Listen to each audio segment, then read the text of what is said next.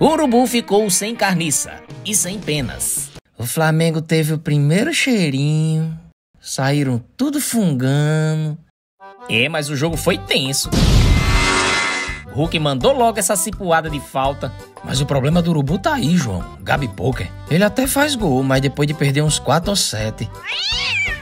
Nesse lance quase sai um gol. É aquela bola que o goleiro reza oito Pai Nosso pra bola sair. Ou, ou, ou, mais um gol do Gabigol. Perdido, né? Olha esse chute de Keno. Levantou a zureia de Hugo. Agora a jogada do primeiro gol do galão da massa. A Arana recebeu e mandou um limão pra defesa de Hugo mas arrotou e Nacho faz 1 a 0. Foi um chute meio doido, mas o que vale é bola na rede. No segundo tempo, Valderrama da Gávea pegou A e mandou essa no oferecimento de OneXBet. Viu ali, João? Nossa parceira tomando conta das plaquinhas no campo quase tudo. Pois é, e presenciando o gol de empate do Urubu. E foi sabe de quem? Pra calar nossa boca, que vive pegando no pé dele. Gabi Poker. Dessa vez ele guardou e fez os apostadores ficar tudo doido, mas ainda tem uma porrada de jogo para você ganhar uma grana retada. Faça o cadastro, coloque o nosso código e receba o primeiro depósito dobrado. Link na descrição.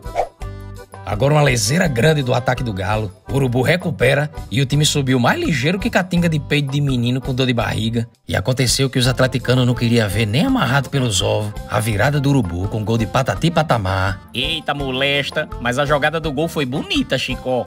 E quando os Urubu achava que o galão da massa estava mais desanimado que a torcida do Cruzeiro, surge ele, o maior vingador do Brasil. Hulk esmaga! O bichão frechado mesmo. Agora vamos pros pênaltis mais longos que Faroeste Caboclo e Saga do Vaqueiro junto.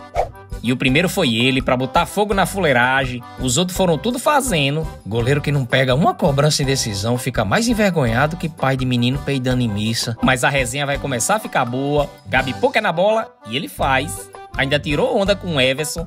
Agora começa a sessão do ganha logo. Quero não, quero só o cheirinho. O Galo deu chance demais pro Urubu ganhar. Jair fez. E João Gomes. Eu vou, eu vou colar na vaquejada.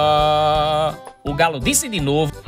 Ganha logo isso, homem. E o Urubu disse, quero não. Aí Mariano foi nela, concentrado e... Aí o outro foi e... Maguinho também perdeu. É gorinho lesado. Agora, se Hugo fizesse, ele fazia o nome dele e acabava com o cheirinho. Mas não teve jeito. E finalmente Hulk manda pra rede e fica só esperando o quase gol perder. E até que enfim acabou essa presepada. Galão da Massa, campeão da Supercopa. E os antes já começa a contar os cheirinhos do ano. Deixe o like nesse vídeo e reveja a resenha do jogo que deu o título do Brasileirão pro Galo. Ficou sensacional. Clique aí.